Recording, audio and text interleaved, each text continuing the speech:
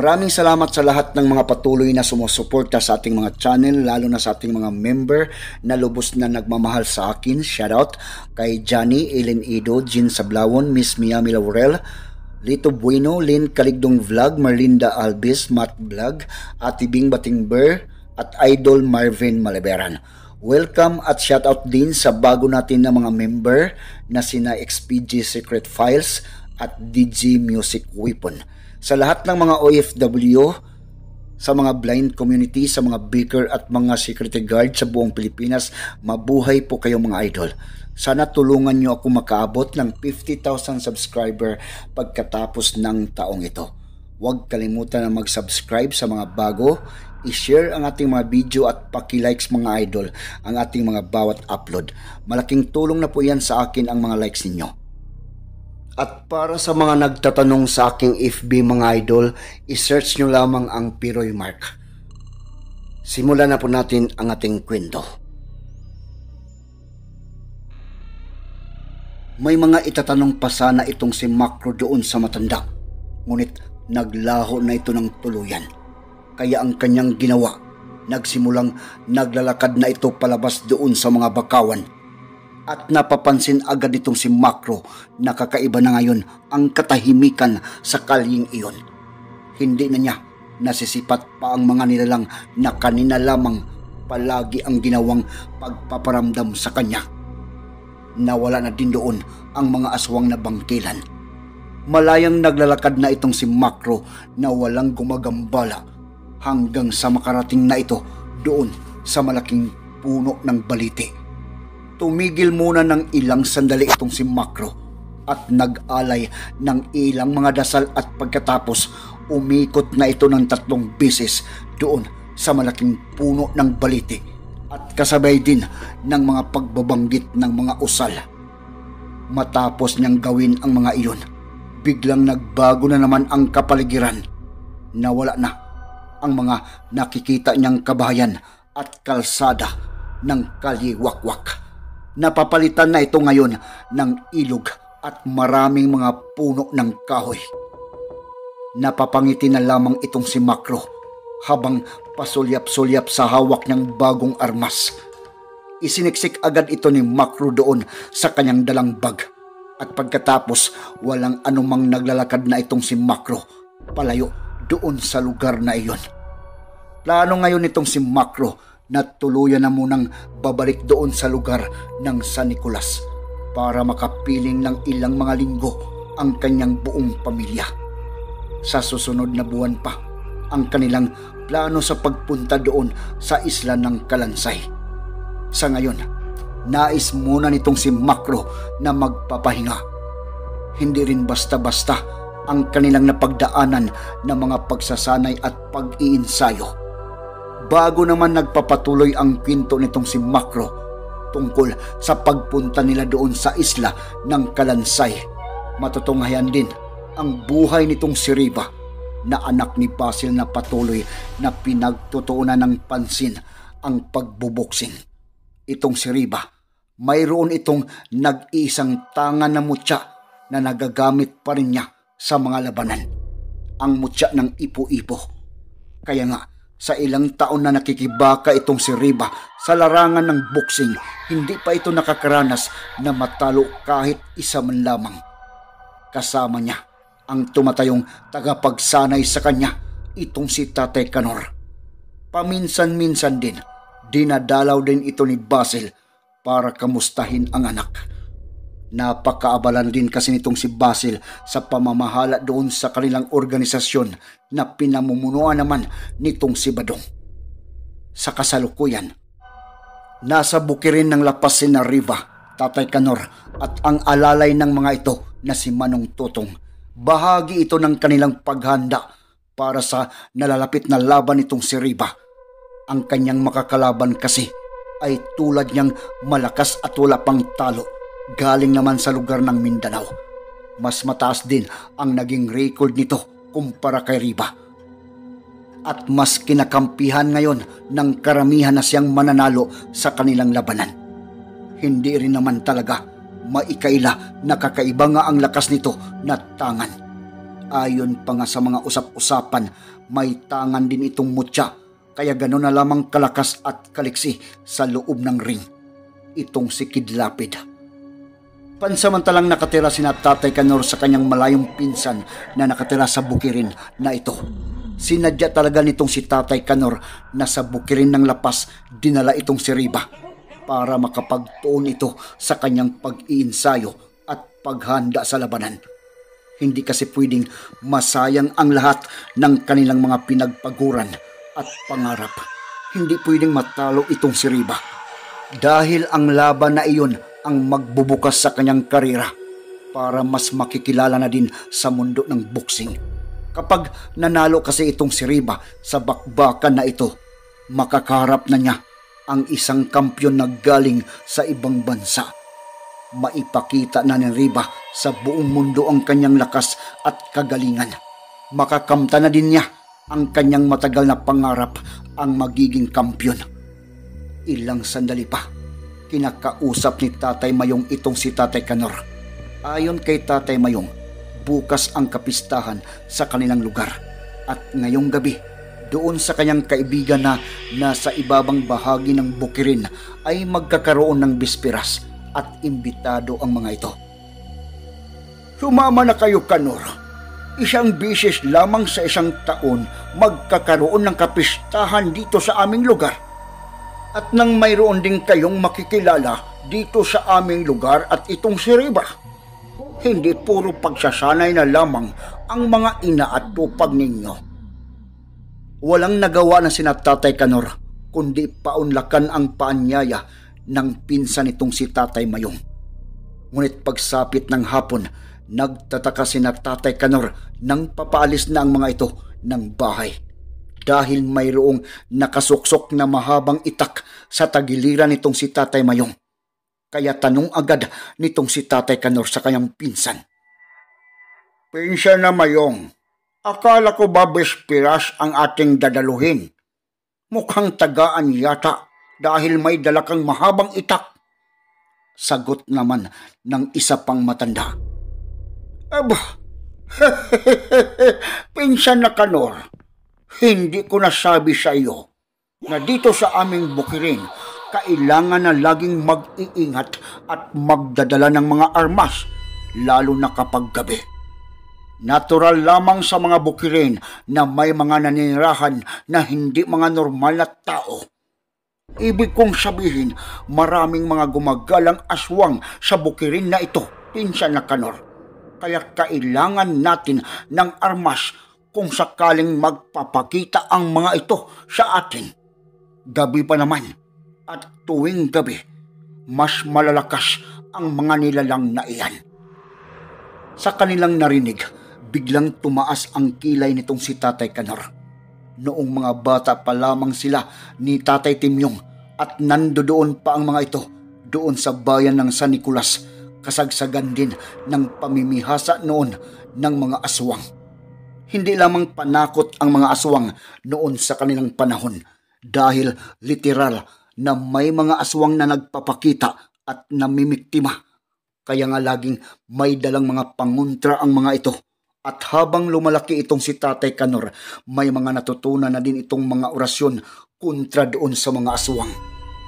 At may mga kaalaman tungkol sa kahinaan ng mga nilalang na ito. Wika nitong si Tatay Kanor. Totoo ba ang mga sinasabi mo, Mayong? Nako, kay tagal na ng panahon na wala na akong naririnig tungkol sa mga aswang na iyan. Ang inaakala ko nga na nawala na ang kanilang angkan dito sa ating mundo. Ang sagot naman itong si Tatay Mayong habang nagsisimulang maglalakad na ang mga ito. Masyadong kinakain ka na kasi sa mga makabagong mundo, Kanor. At doon ka na kasi naglalagi sa sintro ng bayan. Kaya hindi mo na napapansin ang mga nilalang na iyan. Ngunit katulad ng aming tinitirhan na bukirin, madalas na nagpapakita pa rin ang mga ito, Kanor. Naghihintay lamang ng magandang pagkakataon para makapamiktima. At pag-araw, hindi natin namalayan na humahalo na pala ang mga ito sa mga tao at nakikisalamuha. Ang alalay nila ni Tatay Kanor, itong si Manong Tutong, kapansin-pansin agad na nanginginig na ang buong katawan nito nang marinig ang mga sinasabi nitong si Tatay Mayong. Agad naman na napansin ito ni Riba, kaya natatawa na lamang ang binatilyo at inakbayan nito ang matanda. Manong Tutong, mukhang nanlamig yata ang buong katawan. Huwag kang matakot sa mga nilalang na iyan. Galing tayo sa bayan, hindi ba? Mas nakakatakot ang mga taong halang ang kaluluwa dahil talagang papatayin ka ng mga ito. Tama ba ako? Ang sagot naman itong si Manong Tutong kay Riba. Alam ko ang mga iyan, Riba. Ngunit may mga pangyayari sa aking nakaraan tungkol sa mga aswang. Nararanasan ko nang makakita at maatake ng aswang Riba at kamuntikan kung ikamatay iyon. Ang mga aswang ay totoong gumagambala sa amin noon, kaya ayaw ko nang makakita ng mga nilalang na ito.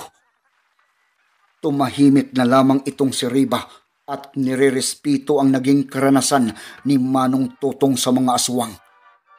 Simula sa bata pa itong si Riba, nakakaranas na agad ito sa matinding mga bakbakan dahil ang kanilang mga magulang ay lumalaban sa underground fighting. At hindi lamang basta lumalaban, mga kampyon ang mga ito ng ilang mga dekada. Kaya nga, namulat din itong si Riba sa mga ganong uri na pamumuhay na laging nakikipagbakbakan. Ngunit ang makipaglaban sa mga aswang ay hindi pa ito naranasan ni Riba. Naisip pa nga nitong si Riba na sumama na doon sa grupo ng kanyang pinsan na sina Marco at Macro.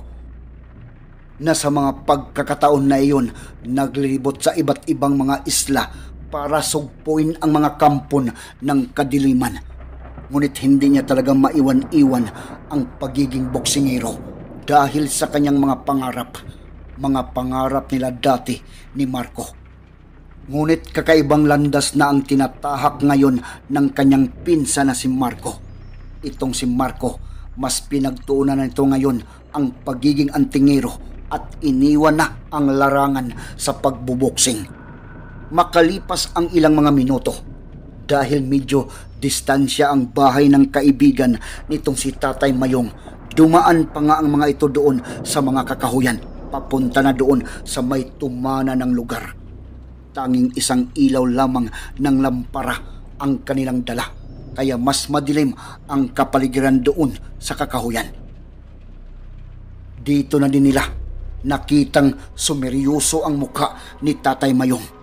Ngunit makalipas naman ang ilang mga minuto, tuluyang nakalabas na din sila doon sa kakahuyan at doon sa unahan may nakita silang mga ilaw ng lampara sa mga kabayan hindi naman ganon kadami ang mga bahay na nandoon. Sa tingin nila, nasa lima lamang ang mga ito. At doon sa isang bahay sa unahan, nakita nilang mas maraming ilaw ang naroroon at mukhang may mga tao din na bisita ang mga ito. Kaya natitiyak nila ni Riba na iyon na ang bahay na sinasabi nitong si Tatay Mayong.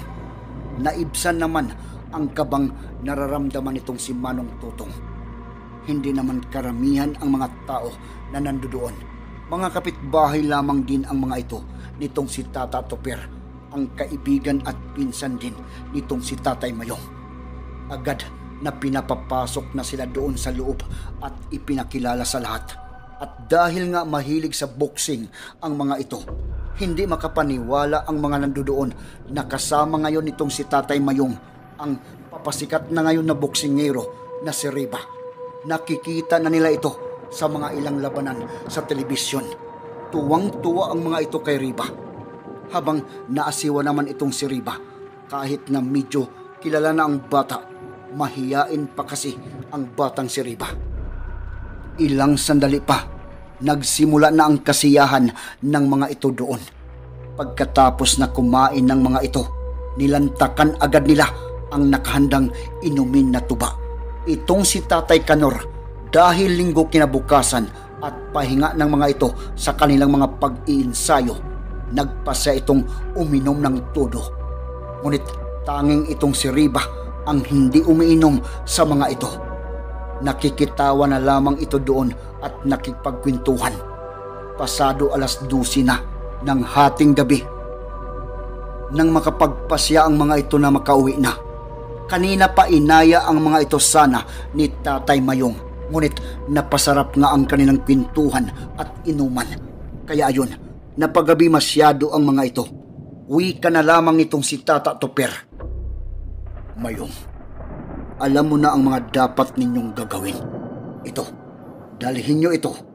Baka magagamit nyo doon sa daan. Nakita nilang may ibinigay na isa pang itak itong si Tata Toper kay Tatay Mayong. At pagkatapos, ibinigay naman ito kay Tatay Kanor. Sa gulat, ang wika naman itong si Tatay Kanor. Oh, bakit may itak na naman mayong? Dalhin mo na lamang iyan, pinsang Kanor. Bukas ko na isa uli iyan. Nang makatayo na ang kanilang grupo, dito pa nila napansin na wala na palang ibang mga bisita ang mga ito. Kanina pa nagsiuwian kahit na malapit lamang ang kanilang mga tirahan. Ang dahilan, takot ang mga ito sa gumagalang mga aswang. Ilang linggo na din kasi na mas nagiging agresibo ang mga aswang na iyon at sa tingin ng mga ito, hindi lamang ang kanilang mga alagang hayop ang punteriyan ng mga nilalang na ito, maging ang mga tao mismo. Kaya lahat ng mga taong nakatira sa bukirin na ito, pagkagat ng dilim, wala nang lumalabas pa ng bahay. Ang kanilang mga alaga na ilagay na nila ito sa mas ligtas na kamalig. Ilang sandali pa, nagpapaalam na ang mga ito. At habang naglalakad ang mga ito, ayon, pasuray-suray na sina Tatay Kanor at maging itong si Manong Tutong. Ngunit itong si Tatay Mayong, mariin na itong nakikiramdam sa buong kapaligiran. Hindi din kasi ito tumudo sa pag-iinom. Alam kasi ng matanda na hindi pwedeng isawalang bahala ang mga ginagawang mga panggagambala ng mga aswang sa kanilang lugar. Wika nitong si Tatay Mayong nang papasok na sila doon sa loob ng kakahuyan. Riba, mas nakakabuti sigurong ikaw na ang magdadala ng itak na hawak ni Kanor. Sagot naman ng binatilyo. Huwag na po, Tatay Mayong. Pagkalabas naman natin sa kakahuyan na iyan, malapit na naman tayo doon sa bahay ninyo. Tumawa na rin itong si Tatay Kanor. Huwag mo akong alalahanin, Mayong. Lasing man ako, ngunit hindi pa ito ngarag. Sige lang, magpapatuloy lamang tayo sa paglalakad. Pagkapasok ng mga ito doon ng tuluyan sa kakahuyan, dahil itong si Tatay Mayong ang nasa unahan at may dalang ilaw, itinaas na nito ang lampara para maabot ng sinag ang mga nasa hulihan na itong si Riba mas madilim na kasi doon sa kalublooban ng kakahuyan. Makailang hakbang pa lamang ang mga ito doon sa kalublooban ng kakahuyan. May narinig silang parang may mga tumatawa sa paligid. Ang ginawa pa nga nitong si Tatay Mayong, tumigil ito sa paglalakad at muling pinakinggan ang kanyang mga naririnig at ilang sandali lamang muling narinig ng mga ito ang mga mahihinang tawa sa buong paligid. Nagkatinginan na ngayon si Nariba at itong si Tatay Mayong. Wika nitong si Tatay Mayong. Riba, narinig mo ba ang mga tawanan na iyon? Marahan lamang na tumango itong si Riba. Nakakaramdam kasi ng kakaibang pag-iinit ng katawan ang binatilyo. Itong si Tatay Kanor, napamura na din ang matanda dahil nga mayroong kaunting karunungan ito, nakakaramdam na din ito ng kakaibang mga presensya ng mga kampo ng kadiliman. Hindi niya lubos inaakala na muling makakasalamuha ang kakaibang uri ng mga nilalang na ito.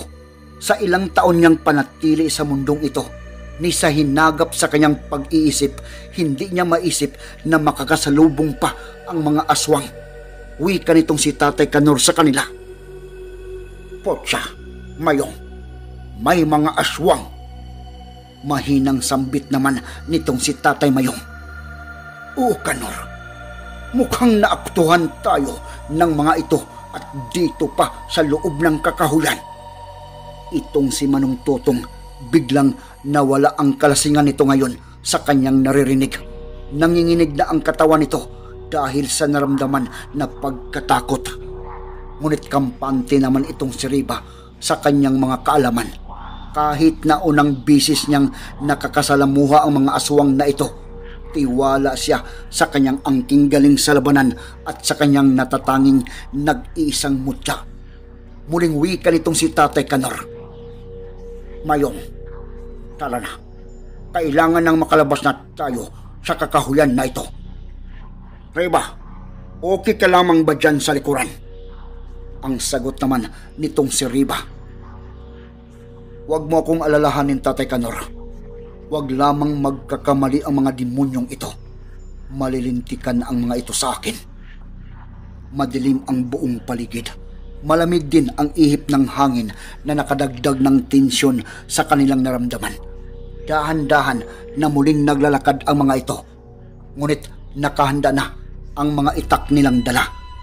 Makalipas ang ilang mga sandali, medyo lumakas ang ihip ng hangin doon sa paligid na siyang nagiging dahilan para mamatay ang kanilang dalang lampara.